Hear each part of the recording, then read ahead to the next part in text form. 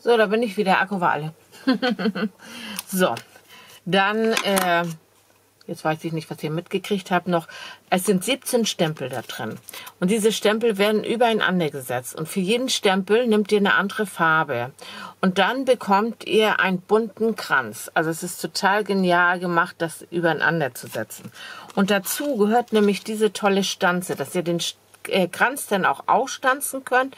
Und dann könnt ihr 3D-mäßig den auf euer Projekt setzen. Also das ist auch im Moment drinne. Also wenn euch das interessiert, könnt ihr jetzt sogar schon reingehen. Dann sind noch von diesen ganz tollen Vasen zwei Stück drinne. Und zwar ähm, ist diese Vase, äh, kann man ganz toll mit so leicht bläulichen äh, Farbstift, also am besten mit Alkoholmarkern, es geht aber auch mit Aquarellmarkern, so rüberziehen, dann sieht man das so wie hier. Und dann sieht das aus, als ob äh, die Vase tatsächlich wirklich richtig Wasser drin hat. Und dann sind ja zu diesen ganzen Stempeln, das ist ein Wahnsinnsset, zu diesen ganzen Stempeln sind auch die ganzen Stanzen dabei. Und dann könnt ihr so ein ganzes äh, Blumenbouquet so übereinander setzen. Ich werde das jetzt auch demnächst mal machen. Also die ist noch drinne und das gleiche auch mit einer anderen Form von Vase ist auch noch drin. Und hier sind sogar noch zwei verschiedene Vasen, ein Vasenstempel und dann ist da aber auch noch mal eine extra Stanze noch für eine andere Vase, die ihr dann noch mal anders gestalten könnt drin. Also das sind wirklich tolle Sets. Ich hatte mir das ja aus Versehen zweimal bestellt. Deswegen ist das in der Gruppe drin. Ich habe auch alles, was weg ist, aus dem Album in der Gruppe gelöscht. Das heißt, wenn ihr jetzt reingeht in die Gruppe und schaut, dann ist das, was alles noch da, was, da, was ihr da jetzt alles seht, ist noch alles da. Ähm, da sind auch noch andere Stempelsets drin. Auch da mal gucken. So, dann äh, habe ich das ja auch noch eingestellt. Und äh, das hatte ich mir ja erst bestellt, aber ja, ich habe hier ein bisschen Platzmangel. Deswegen ist das jetzt äh, auch mit in die Gruppe gegangen. Da könnt ihr ganz, ganz toll, und zwar ganz, ganz toll, äh, so stempeln und dann so Eis und äh, Burger fertig machen. Und dann ist da noch drin, wo ist sie denn?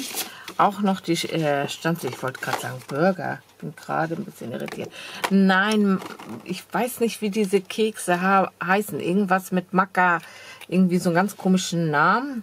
Und ich muss ganz ehrlich gestehen, die sind ja nicht so ganz günstig. Ich habe mir die gekauft bei Lidl aus der äh, Kühltheke und habe gedacht, oh, jetzt haben wir was ganz Besonderes zum Kaffee und oh, mir haben die überhaupt nicht geschmeckt. Würde mich mal interessieren, mögt ihr die oder waren die vielleicht schon ein bisschen zu lange da? Ich meine, die waren noch haltbar, ne? Aber irgendwie, die waren, ja, die schmeckten irgendwie so einfach nur süß, sonst nach gar nichts. Und eigentlich sollen das ja so ganz besondere Kekse sein. Ne? So muss ich das machen, ja. Bonjour, enjoy. Das kann ich wieder nicht lesen. Oh, ich kriege wieder einen Kaffee. Dankeschön. Äh, was ist denn da noch? Äh, das kann ich auch nicht lesen. Have a sweet birthday. Das ist ja schon mal wieder schön. Das kann man gut gebrauchen. Oh la la. oh la la, das finde ich auch total gut. Ja, jedenfalls ist der auch drin, auch mit diesen Stanzen, die ja dabei sind. Hier sind ja die Stanzen noch dabei. Genau, da könnt ihr dann auch schauen. So. Ich habe es ja auch getan. Ich habe wieder bestellt. Und ich muss ganz ehrlich sagen, habe ich mich nicht geärgert. Zwei Tage hintereinander hatten sie ganz, was ganz Neues ist ja nicht so, dass ich nichts hab von Craftless.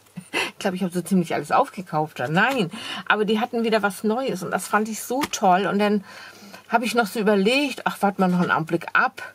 Ja, wumms war's weg. Denn das nächste äh, Set mit äh, 3D Prägefoldern mit noch Stanzschablonen dazu da habe ich auch gesagt, so, das war ja jetzt gerade auch auf Sendung. Wir haben Besuch gekriegt gestern. Da habe ich gesagt, weißt du was, ich bestelle das dann, wenn der Besuch weg ist. Dann war der Besuch weg, ja, und das Set war auch weg. oh Mann, habe ich mich geärgert.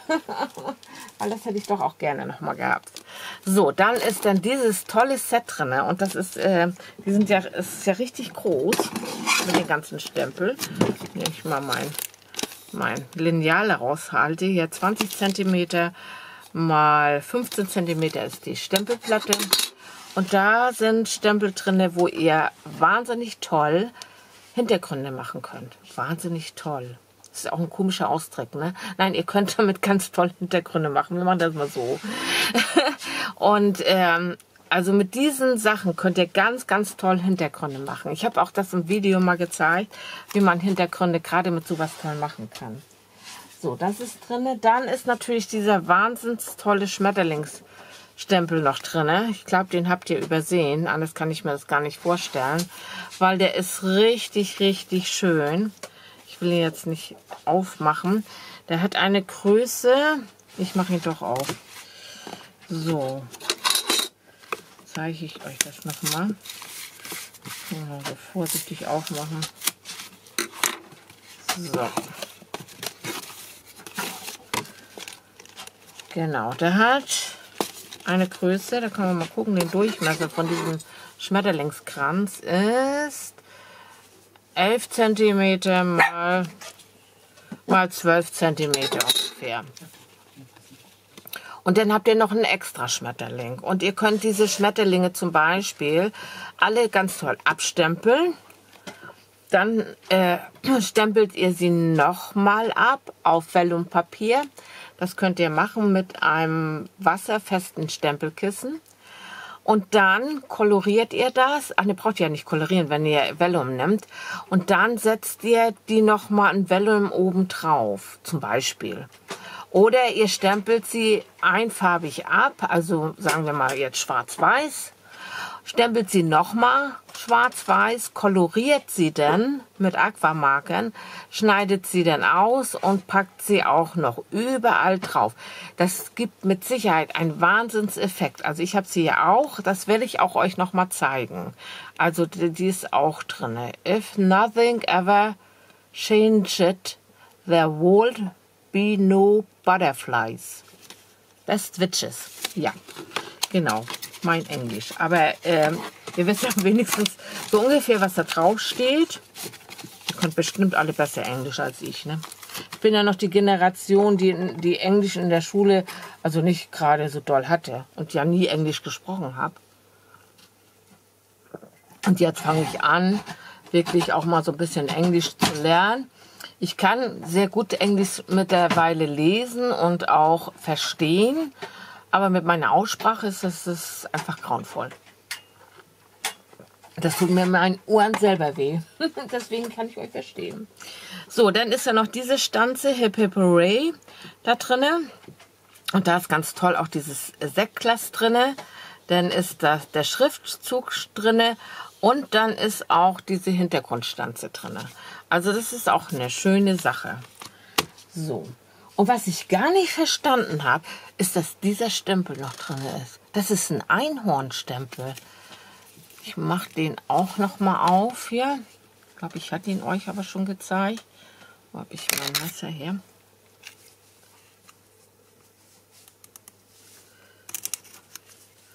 So. Und das ist dieser tolle Einhornstempel. Ich glaube, den habt ihr übersehen, ne? Der ist noch in der Gruppe drin und den kann man ganz, ganz toll kolorieren. Wenn man den so mit beigen Farben, beige, zartes Gelb, vielleicht noch so ein Lindgrün, also in diesen Tönen und dann noch so ein Flieder dazu, das sieht absolut irre aus. Ich habe den schon abgestempelt gesehen. Das ist wirklich ein Hammerstempel. Und der ist auch gar nicht so klein. Und zwar hat der, muss ich mal das Horn mitnehmen hier, 12 cm mal 9 cm. Und dann kommt ja noch dazu, dass auch die Stanze dabei ist. Ja, ich kriege sie jetzt nicht raus, weil da ist so ein Klebeband drin und ich will das jetzt nicht hier kaputt reißen. Diese ganze Stanze ist noch da drin, um den äh, um das Einhorn auszustanzen. Also ich gehe mal davon aus, dass der untergegangen ist bei euch. Anders kann ich mir das gar nicht vorstellen. Das ist wirklich ein toller, toller, toller Stempel, tolle Stanze. So, was dann auch noch drin ist, sind die beiden Blumenstanzen und da habe ich ja mit diesen Stanzen habe ich ja das Video gemacht, wenn ihr mal gucken wollt, wie die gehen, mit dieser Explosionsbox. Die hatte ich ja gemacht. Und da habe ich ja diese Pflanzen gemacht. Ich habe jetzt noch das Gras damit drauf gemacht, aber das könnt ihr auch, das schneidet ihr einfach dann äh, äh, das grüne Blatt in Streifen. Am besten macht ihr erstmal oben so eine Welle und dann schneidet ihr Streifen rein, dann habt ihr auch so ein Gras. Und das finde ich ja richtig cool. Und das ist ganz einfach zu machen damit. Das habe ich in dem Video, guckt euch diese Video, das Video von mit dieser Box an. Da habe ich das gemacht. Da zeige ich das, wie das mit diesen Stanzen geht. Und eine äh, Abonnentin hat mir auch noch gesagt, es gibt ja diese für Quilling. Und zwar gibt das diese, das sind so eine, so eine äh, Metall, ja, wie nennt man das denn? Metallstäbe, sag ich jetzt mal.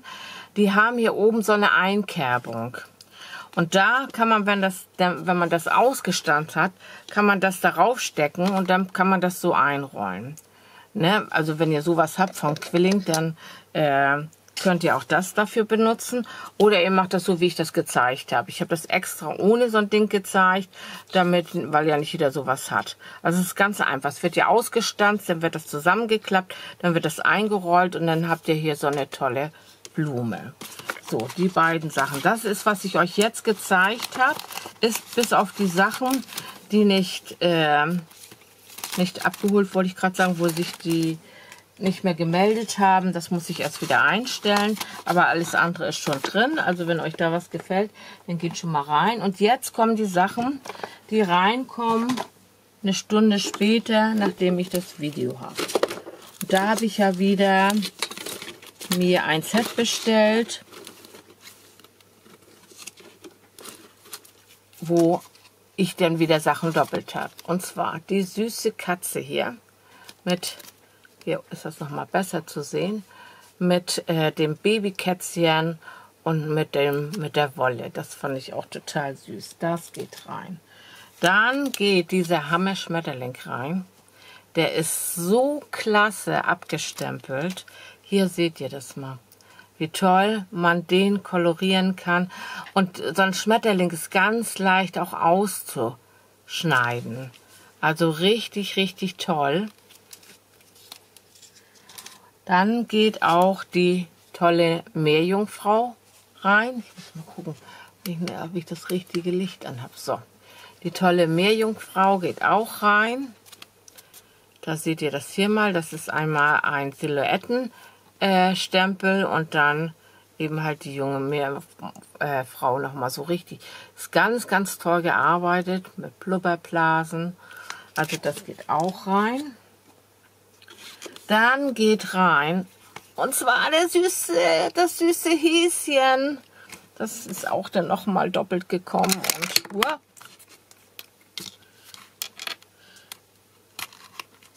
Ja, es ist auch immer, wenn man nicht, weil ich ja auch immer die Mystery Bags mitnehme. Ne? Dadurch habe ich das ja immer alles doppelt. Immer alles doppelt gemobbelt bei mir hier. So. Der ist, der ist so herzig. Ich hoffe, ihr könnt das gut sehen. Ne, thank you, somebody love you. Just to say. Und dann ist sie auch noch mal krass, das ist natürlich auch schön. Kann man auch gut für andere Sachen gebrauchen. Und auch diese Blume kann man ganz toll einzeln auch in Szene setzen. Ich hoffe, ihr könnt es richtig gut sehen. Also der ist auch drin. Oder geht rein vielmehr. So, jetzt kriege ich ihn hier nicht wieder rein, oder was? So, komm mal her.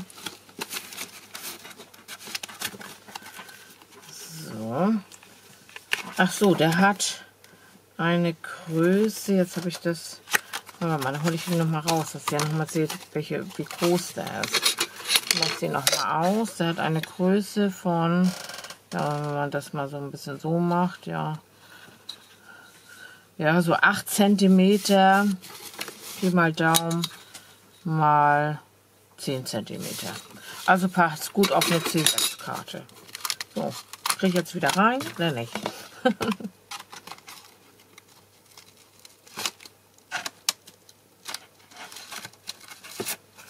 so.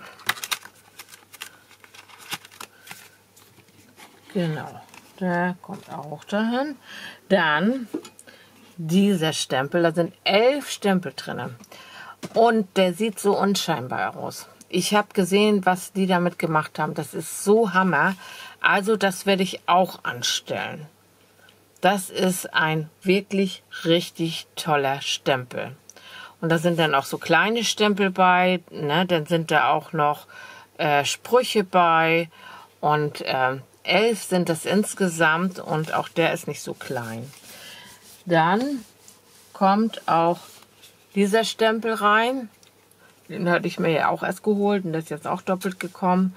Ähm, mit den ganzen Ballons. Also die Ballons, der, der, der und der, sind ein Stempel und dann sind nochmal Stempel extra. Insgesamt sind das 30 Stempel, äh, 13 Stempel. Und ihr seht ja auch, das ist auch nicht so ein kleines Ding. So, und dann die tollen Tass äh, Kaffeetassen. Die gehen auch rein. So, hier könnt ihr mal gucken. Und das ist wieder dieses gleiche tolle Prinzip. Erst das stempeln, dann das stempeln, dann das, das und das stempeln. Und dann habt ihr wirklich so einen tollen Effekt. Da könnt ihr so richtig mitspielen. Und hier sind zum Beispiel nur diese drei Farben verwendet worden. Und das sieht so toll aus. Man kriegt das ja sonst gar nicht so hin. Und bei hier ist es auch so, dass man dann auch gar nicht äh, kolorieren muss, sondern einfach nur übereinander stempeln muss. Und die Tassen sind auch gar nicht so klein. Also wenn ich jetzt das mal so nehme, dann sind das ja so neun, fast neun Zentimeter mal ja acht Zentimeter. Also passt auch richtig schön auf eine C6-Karte. So, das war's, was in die Gruppe geht. Und jetzt kommen die Sachen, die ich mir, die für mich gekommen sind. So, die hole ich mal. So, packe ich hier an der Seite. So, bleibt hier liegen. Also, ich habe mir noch mal solche Sticks mitgenommen oder Tools, Pocket Tool steht da drauf. Die sind total klasse, um, äh, um die Klebebänder abzumachen. So, dann habe ich mir einmal diese Stempel mitgenommen. Da muss ich jetzt noch mal gucken. Die sehen jetzt so unscheinbar aus. Ich muss mal gucken, wie die dann abgestempelt aussehen. Das sind jetzt mal ganz merkwürdig, so richtig nur so weiß. Also Schere und sowas zum Nähen, das fand ich also ganz toll. Und äh, hier habe ich noch mal was vor mit. Da will ich mal gucken. Ich habe ja diese... Gucken. Oh, oh, sorry, dass die jetzt wackelt hier. Ich musste da einmal ran. Und zwar, ich habe ja diese Kleider. Und da habe ich gedacht, dass ich das so abstempel. So müsste, muss ich das halten. Und dann mit dieser Schablone ein Kleid ausstanz und das dann da so drauf macht. Also da habe ich so ein bisschen was vor.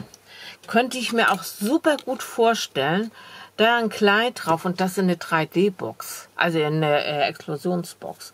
Ja, ich habe heute so viel gesappelt, deswegen bin ich ein bisschen durch den Wind, würde ich das mal bezeichnen.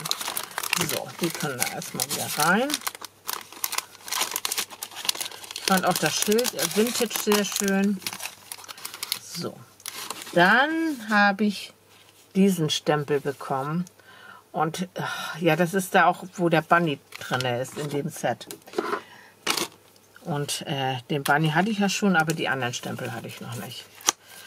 So, und das ist auch, oh, ist das so süß mit dem Hund in dem Korb. Der sieht so ein bisschen aus wie unsere Lotta. Und dann, was steht da noch? Äh, Puppy Love. Ne, Puppy Love. Nicht immer das A-O-W-U aussprechen, sondern A-W-A aussprechen. Ich musste so lachen, Du weißt, wen ich meint, ne? Hier ist eine ganz, ganz, ganz, ganz, ganz, ganz, ganz liebe Abonnentin, mit der ich auch mal, mal so ein bisschen schreibe. Und äh, die hat mir dann gesagt, dass es immer so niedlich ist, wie ich Good äh, Look ausspreche. Weil das heißt nämlich Good Luck. ja, im Englischen wird das U ausgesprochen. Ja, das weiß ich jetzt auch. Aber ihr wisst ja, mein Englisch ist grausam. Das sage ich ja auch immer. Ich habe da auch keine Probleme mit. Ich musste so lachen. Ja, genau. Also es heißt Puppy Love. Und äh, Friends Forever. Also das fand ich ja. Friends Forever finde ich total schön mit dem Hund. Ja, kleine Anekdo Anekdo Anekdote nebenbei. Genau, selbst das kann ich nicht richtig aussprechen heute. So, das ist auch dabei gewesen. Ja, ihr kriegt mich ja immer so, wie ich bin, ne? So, dann gab es da auch diese Kaffeetassen mit der, oder Teetassen vielmehr, genau, Tee ist das. My cup of tea, you won. There's always time for tea. Ja, und das fand ich auch total schön. Also ich finde ja auch, wie die Beispiele schon gemacht sind, ne? dass das so schön koloriert ist. Das finde ich schon toll. Und ich wisst, ihr wisst ja, dass ich mir immer hier die Kante abschneide und äh, das dann so aufbewahre. So, den fand ich mega. Den musste ich unbedingt haben, deswegen habe ich mir das Set bestellt. Den musste ich unbedingt haben. Den fand ich so mega. Wir sitzen ja hier oben in Kiel im hohen Norden direkt am Strand. Also wir wohnen da, wo andere Urlaub machen. Und ähm, da sind natürlich maritime Sachen immer sehr angesagt. Und ähm, dieses Seepferdchen, das hat mir das total angetan. Also das, ich mache das mal auf. Mal mal gucken, wie es aussieht, wie es aufgemacht ist. Bin ja auch neugierig. so, komm mal raus hier. So sieht es aus. Und da werde ich mit Sicherheit wieder einen Bilderrahmen gestalten, wo ich das dann mit einbaue. Also da habe ich auch schon meine Ideen im Kopf. Und zum Sommer hin, ich will mal gucken, vielleicht haben wir auch wieder Glück, dass der Markt wieder stattfindet. Und dass wir dieses Jahr dann tatsächlich auf den Markt kommen. Das wäre natürlich super. So, dann haben wir hier Butterflies in das, das, lese ich jetzt nicht vor. Doch, das steht noch in Deutsch hier. Schmetterlinge im Flug. Ach, wie schön. Bin noch mal drum gekommen. so. Das mache ich auch mal auf hier, wenn es dann will. So. Oh, die sind gar nicht so klein. Es ist immer so auf der Verpackung sieht das immer so eigentlich so nach nichts aus.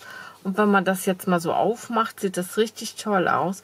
Und ähm, diese Schmetterlinge werde ich äh, mit Pergament, äh, Permam, Permam, oh, ich kann das nicht. oh Schatzi, mit mir ist heute hier echt ganz sch schlimm, geht mit mir meine Sprache durch hier. Ähm, was meinst du? Dann machen wir jetzt eine Sprachexkursion. Der kleine klappernde Kaplan schlägt kleine peppige Peppuss an die klappernde Kapellwand. Ops, okay. Das soll ich aber nicht wiederholen jetzt, ne? Ich glaube, äh, dann schalten hier alle ab, wenn ich versuche, das zu wiederholen. ich weiß nicht, ob ihr das gehört habt eben, aber das war schon erstaunlich gut. So, jedenfalls nochmal zurück. Und zwar ein Stempelkissen auf Alkoholbasis. Ich, man kann sich auch irgendwie retten. Und ähm, damit werde ich das abstempeln und dann werde ich das mit Aquarellfarben kolorieren. Weil wenn ihr da mal so genau hinguckt, dann ist das so ein bisschen auch schon wie mit Aquarellfarben gemacht. Also die ganzen Umrisse sind nicht scharf, sondern so leicht verschwommen, würde ich mal sagen. Und das gefällt mir total gut an diesen Stempeln. Und da wie gesagt, werde ich dann mit Aquarellfarben arbeiten.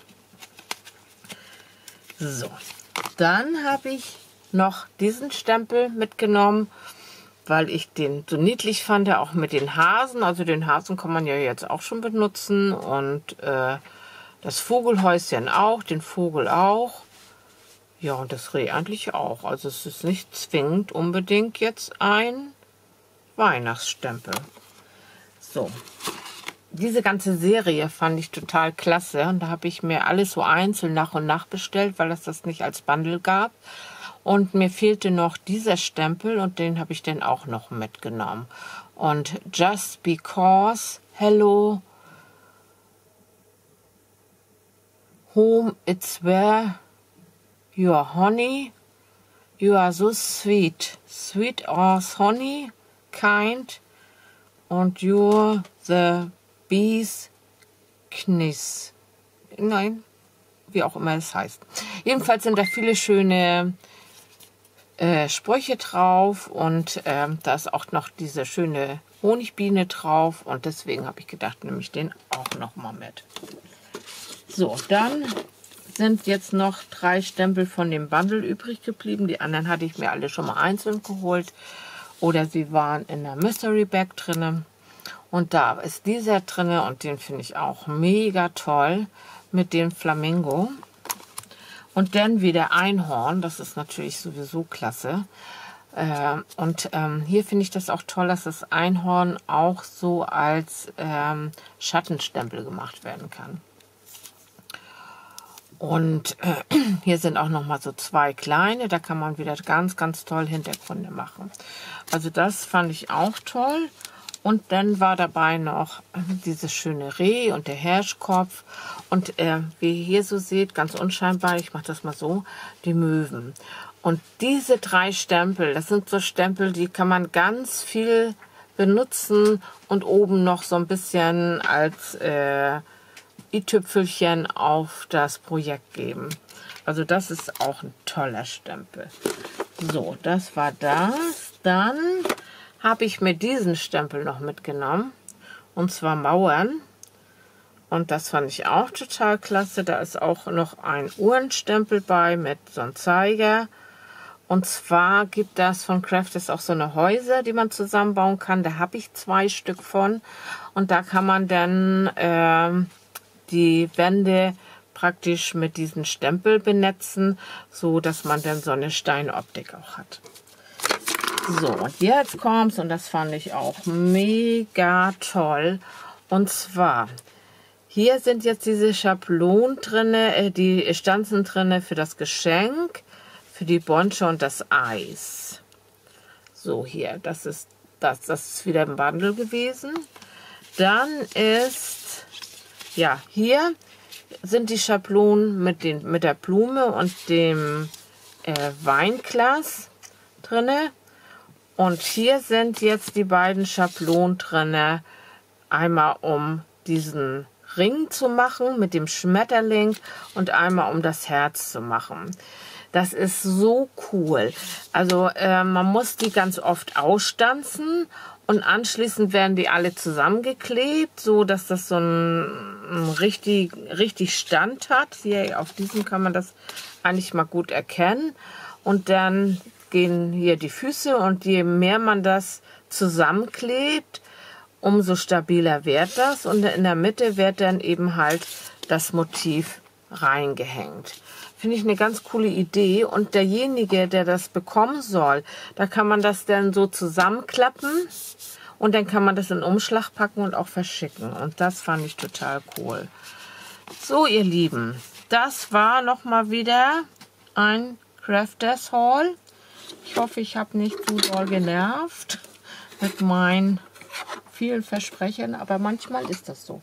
Bei mir ist das an manchen Tagen ist das so und bei manchen Tagen ist das nicht so. Ja, wie gesagt, schaut, wenn ihr Lust habt, äh, in den Flohmarkt rein. Kommt in unsere Facebook-Gruppe, freuen wir uns, wenn die auch ein bisschen größer wird.